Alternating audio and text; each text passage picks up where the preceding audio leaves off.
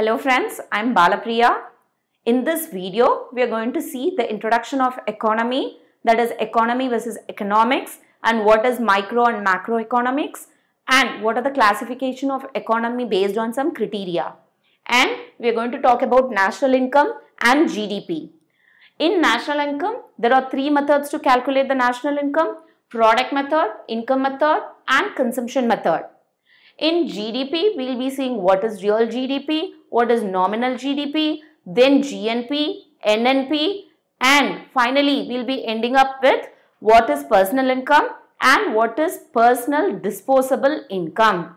Come let us go into the topic. So economy versus economics, what is it? See economics means the allocation of limited amount of resources to unlimited wants of the people. What is economics?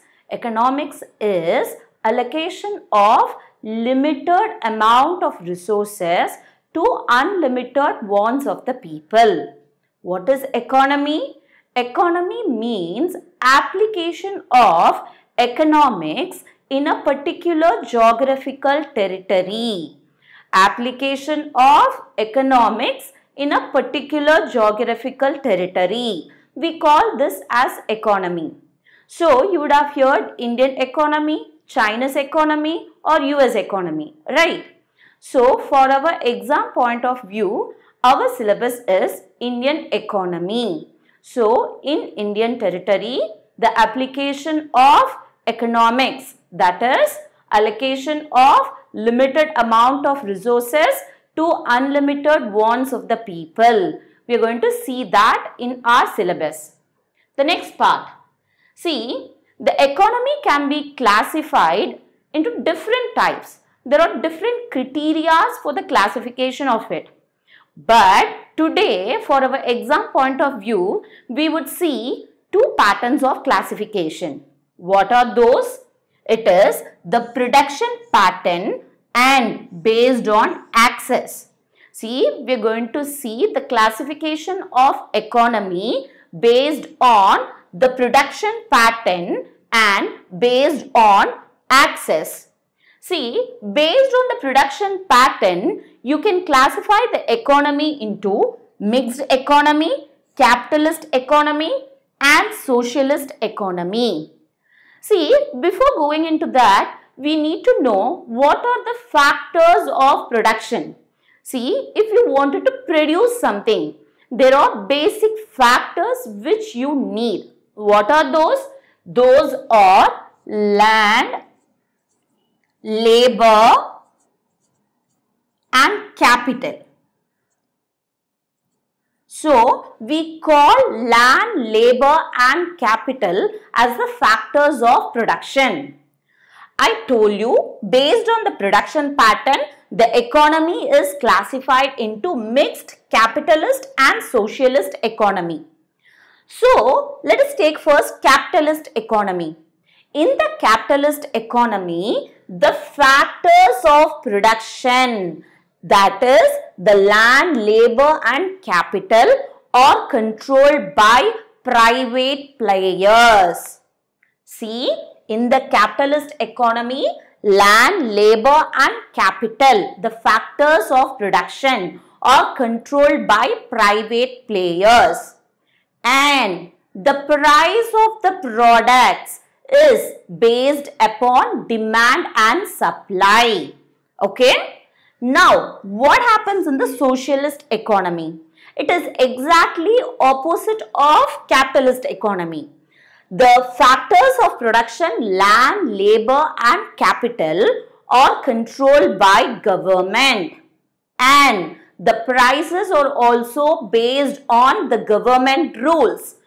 There is no criteria based on demand and supply in the case of socialist economy. Okay.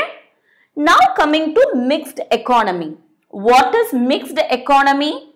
See, an economy where you have the private players along with the rules and the regulations of the government. Okay.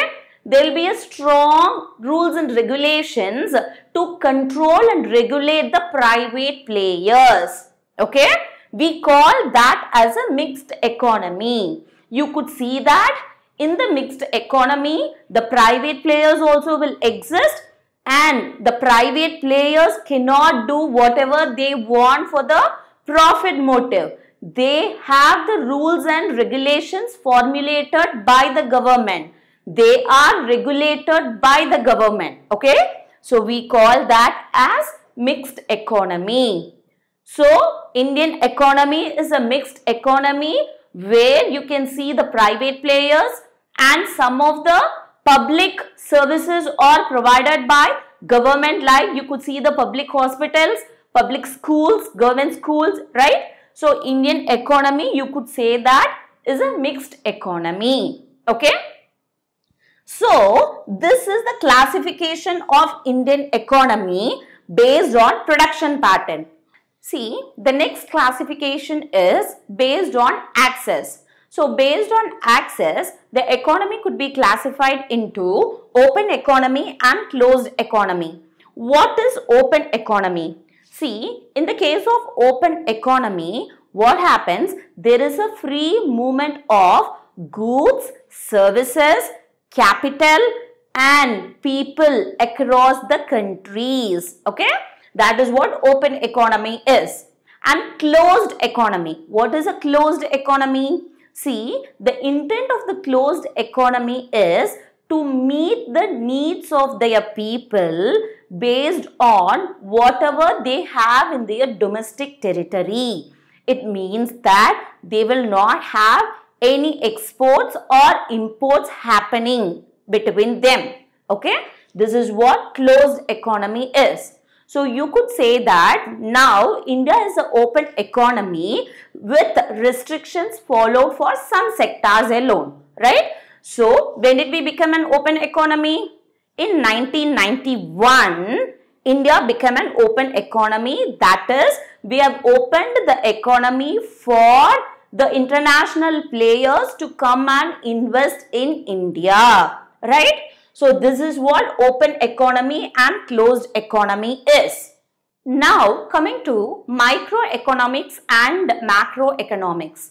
What is the difference between micro and macroeconomics? Because in the NCERT also you would have two books. One is the microeconomics and the other one is the macroeconomics. Right. So see study of individual markets and their demand and supply. We call that as microeconomics. What is microeconomics? Say for example, let us take food processing industry. Okay, let us take food processing industry. So, in this food processing industry, you're going to study how is the employment, how is the production happening. So, you are studying about an individual market we call that as a microeconomics. So example you can take as food processing industry or studying about textile industry. All these comes under microeconomics. Now what is macroeconomics? See macroeconomics studies the performance and the behavior of economy as a whole. Okay. So economy as a whole. So, macroeconomics. What is macroeconomics? See, when you study about the economy as a whole, you're going to analyze the economy's performance as a whole. We call that as macroeconomy. Say for example, GDP. Okay. So when you calculate GDP, you calculate it for the economy as a whole, not for a particular industry like food processing or textile industry, right? See, governments use the macroeconomic data to formulate their policies, okay? Governments use the macroeconomic data like GDP, like inflation to formulate their policies you could see that if the onion price is increasing, it comes under what? Inflation, right? So that is a macroeconomic data. Okay. So the government uses the macroeconomic data to formulate their policies. That is the reason for our exam point of view, we will be looking in a detailed view about macroeconomy, right? National income. So what is national income? See, national income means net value of goods and services produced in a country during a year and it also includes net earned foreign income. So let me repeat it again. What is a national income? National income means net value of goods and services produced in a country during a year. And it also includes net earned foreign income. So, we'll see what are the different methods to calculate the national income. But before that, we need to know who is the first person to calculate the national income. See, it was in 1868, okay? It was in 1868, Dadabhai Naoroji in his book Poverty and, and British Rule in India calculated the national income. At the time of his calculation, the national income of the country was rupees 20. So who publishes this national income? See, there is an organization called Central Statistical Organization. So it is this organization which publishes the national income of the country. As I said, there are three methods. First method is the product method. As the name says, the product method, the net value of final goods and services produced in a country during a year is called as the product method. So what are we going to do it in the product method? We are going to calculate the net value of all the goods and services. Okay, that is called as the product method. What is income method? See, as I told you, there are three factors of production. What are those? Land, labor and capital. So, in the income method, we will calculate the income of these three factors of production.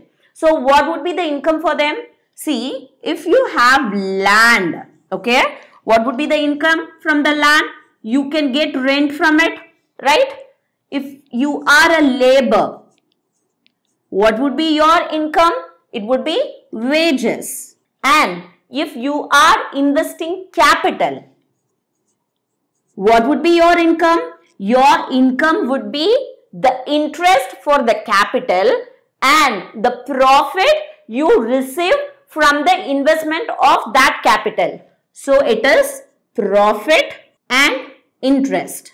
So income method, income method means the calculation of the income of the factors of production. So what are the factors of production? See the factors of production are land, labor and capital and the income of land. What would be the income of the land? It would be the rent you get from that land and what would be the income for the labor? It would be his wages. What would be the income for the capital which you invest? It would be profit or the interest. So this is called as income method. By calculating the income of all these three factors of production, you would find the national income. Okay. So the next method is consumption method. What is this consumption method? See, once you get the wages, you either consume it or you save it, right? So consumption means what? You're going to spending it on something, right? So the same way, the national income by the consumption method will be calculated by the total consumption expenditure, okay, plus investment expenditure why is that investment expenditure? I told you once you get the wages, you would be spending it or saving it. We are assuming that the saved amount we are going to invest it. So we are calculating that as investment expenditure and along with that we will add the government expenditure as well. I told you here it is the total consumption expenditure. It is the consumption of the people of the country, right? Along with that, the investment expenditure and the government expenditure plus the exports minus the imports, right? So, we calculate the national income of the country by the consumption method using this formula. That is the total consumption expenditure plus the investment expenditure plus the government expenditure plus exports minus imports. So these are the three methods which you can calculate the national income of the country. So product method, income method and consumption method. See in case of India, what method we use? See, we use product method along with the income method to calculate the national income of the country, right? So see, what we have seen now? We have seen national income part. So in national income, we have seen the product method, income method and the consumption method. Now we are going to GDP. So what is GDP? See, GDP is GVA plus indirect taxes minus subsidy. What is this GVA? See, GVA means gross value added. What is it? It is the value of all the goods and services produced in an economy or produced in a territory. So, it is the value of the goods and services alone. But when it comes out of the market, you will be levied with a tax. Okay. So, that is what the indirect tax which is added here. But inside the factory, the government would be giving a subsidy, right? So that cost will not be incurred upon the producer. Say for example, if I am the owner of a company and I am going to produce a bread, okay. So the government says that I am going to give the subsidy for 100 rupees if you are going to produce 100 packets of bread. So that subsidy amount is not incurred on me. So I am subtracting that. Okay. So GDP is GVA plus indirect taxes minus the subsidy. Right. So see gross value added plus the indirect taxes minus the subsidy. So this reflects one scenario. What is it? if indirect taxes are higher, okay, if the indirect taxes are higher, your GDP will increase. If your GDP is increasing, it might be the indirect taxes are higher or the production and the economy is also higher. But what if, if the subsidy is increasing? What if if the subsidy amount is increasing. Okay. In this case, what would happen? If subsidy is increasing, your GDP would come down. Okay. So, if an economy has to have good GDP, your subsidy should be low. Okay. Your subsidy should be low and at the same time, your indirect taxes should be high. Okay. So what is GDP? GDP is the money value of all goods and services produced in a country during a financial year. So as I said, this includes both, both the domestic persons. As I said, this includes both the citizens who are residing in the country as well as the foreigners who are residing in the country. It is Q, quantity times the unit price. In a simple terms, how can you say? You can say that it is the number of quantities produced in an economy multiplied by the unit price. Okay. Now, this GDP is calculated at the constant price and at the current price. What is this constant price and the current price? See, when you calculate the GDP at the prevailing prices of the market right now. We call that as GDP at current price. So when you calculate the GDP at the market prices, right now you call that as what? You call that as GDP at current price. When you take GDP at constant price, see you're calculating the GDP based on some base year prices based on the price which you have decided earlier. In India we refer a year called base year. Okay? What is this base year? See it is in year where the inflation will be less. Okay? Where the inflation will be less. So GDP at constant price and GDP at current price we have seen it now okay now what is this real and nominal GDP. What is this real and nominal GDP? When goods and services are evaluated at some constant set of prices.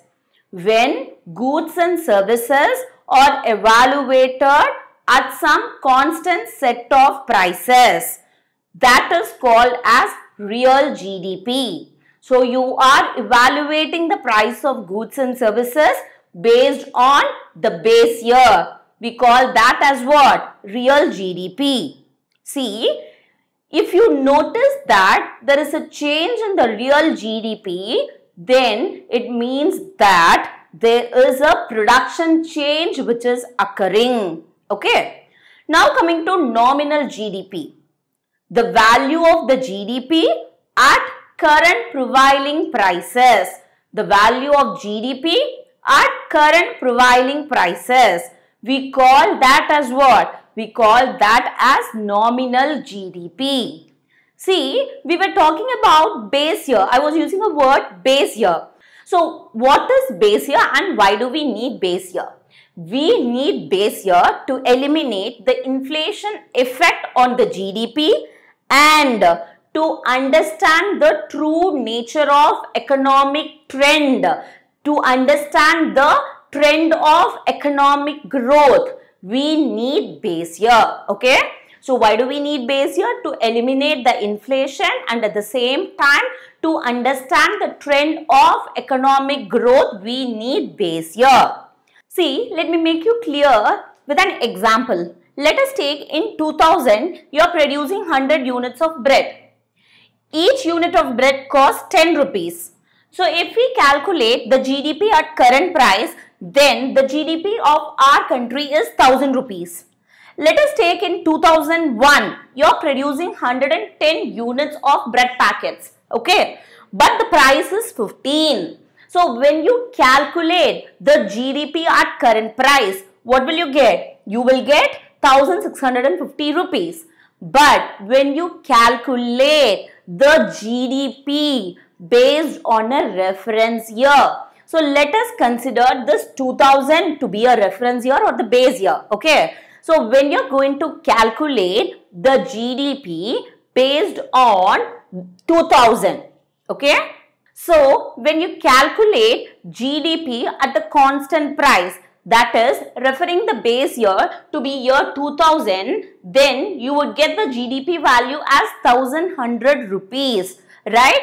So you could understand that the difference between the current price and the constant price is huge right? Even for 100 units of bread it is huge so when you are calculating it for the entire economy, you could understand that when you calculate the GDP for the current price, it will not show you the true picture of the economy. Instead, it will show you the inflated price. So we are referring it to a year called the base year. So as I said, it will eliminate the inflation, right? So you could see from this example that when I calculated the GDP based on the base year, you get varied amount, right? So this is the use of base year, okay? Now let us move on to the next topic which is GDP at the factor price and GDP at market price. So we have seen what is real GDP and what is nominal GDP. Base year is over. Now GDP at factor cost and GDP at market price. So GDP at factor cost. See, GDP at factor cost is equal to GDP at market price minus the indirect taxes plus the subsidies. You're going to calculate the GDP inside the factory. It means that you need to know the values only inside the factory. So inside the factory, you will not be putting the indirect taxes, right? So the taxes comes only when you go out of the factory. So you are subtracting the indirect taxes. But as I said, inside the factory, you will be having the subsidies provided by the government. So that is the cost incurred totally. It may not be cost incurred on you, but to produce that particular product, that is the total cost incurred. So we are adding the subsidies, right? Okay, see GDP at factor cost is GDP at market price minus the indirect taxes plus the subsidies.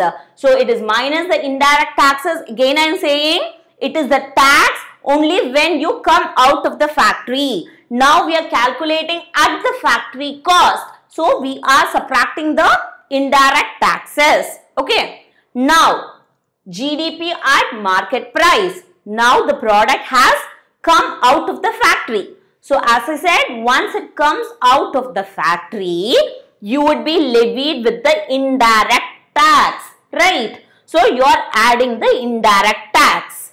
But when the government is giving you the subsidy, okay, you will not charge that amount on the consumer, right? You will not add that amount. So you are subtracting the subsidies, okay? So what is GDP at market price? It is the GDP at factor price plus the indirect taxes minus the subsidies. Why is it adding of indirect taxes? It has came out of the factory. And why is it subtracting the subsidies? Because that is provided by the government and you will not be adding them, right? Now comes GNP. So what is GNP? See, till now we were talking about something domestic, right? So what is the word domestic? It says that it includes both the citizens of the country residing in India as well as the foreign nationals, right? But now, if you take GNP, okay, you could notice this letter N which means gross national product, okay? So, we are going to calculate GNP only for the nationals, which means only for the persons of India, right? So, see, GNP is equal to GDP plus X minus M. What is this X and M? See, X is the income earned and received by nations within the boundaries of foreign countries. See, if some person is having his unit in the other country, okay, he will bring back the income to India, right? That would be included in X, that is the exports. And what is this M? M means the income received by the foreign nations, foreign people within the country. Say for example, if a foreigner is working in India, he will send back his money to his home country, right? That would be included in M, okay? So, when you subtract X minus M, that is the income of the Indians uh, earning abroad minus the income of the foreigners earning in India, you get the value of GNP, okay? So, gross national product which means you're calculating for only Indian nationals. Okay. Now, what if I discussed in the introduction there is something called closed economy and open economy, right? What if the economy is a closed economy? See, if the economy is a closed economy, okay, you will have the value of x as 0. Why? You will not be exporting or importing anything. So, the value of x is 0 and the value of m is also 0. In that case, your GNP would be equal to GDP, right? So, in a closed economy, GNP and GDP are same. Why? Because there are no exports and no imports happening, right? See, now coming to the next topic which is NNP. NNP. What is this NNP? It is Net National Product. See, there is a difference between gross and net. When you explain it using your salary, gross salary and net salary. What is gross salary? Gross salary means the total salary, right? But what is a net salary? Net salary means it is a salary after deducting your income tax, after deducting your professional tax, right? So what you get in your hand after all the deduction process. They'll be deducting it for the PF Provident Fund, right? So after all the deductions, what you have it in your hand, we call that as your net salary. When you get the final amount in your hand, that is your net salary. The same thing here, gross and net means when you subtract the depreciation for the capital, okay? when you subtract the depreciation for the capital. We call this as NNP, right? So, we have seen GNP and NNP. But in NNP, you can calculate it using two ways. NNP at the factor cost and NNP at the market price. When you calculate NNP at the factor cost, you call that as a national income. Okay. So, as I said, NNP is GNP minus the depreciation value, right? So, when you subtract the depreciation from the gross national product, when you subtract the depreciation from the gross, you get net national product, okay? So, net national product NNP is calculated in two ways. One is at the factor cost and the other one is at the market price. So when you calculate the NNP at the factor cost, you call that as what? You call that as a national income. Okay. So see, NNP at factor cost, how can you write it? You can write it as NNP at market price minus the indirect taxes. So it is inside the factory like how we calculate for GNP. Same way here, it is inside the factory, right? So you would be subtracting the indirect taxes. But since it is inside the factory, you would add the subsidy amount which is given by the government, right? So you are adding the subsidy to it, right? So this is your GNP and NNP, NNP at factor cost, okay? Now, the next topic associated with the national income is personal income and the personal disposable income. What is the difference between two? See, the personal income means the income of an individual. Okay, the income of an individual. But what is personal disposable income? After the deduction of direct taxes, okay, after the subtraction of the direct taxes, what you have it in your hand, that is the amount you dispose it, right? That is the amount you have at your disposal for spending, right? So that is called as personal disposable income. So personal disposable income is equal to personal income minus the direct taxes.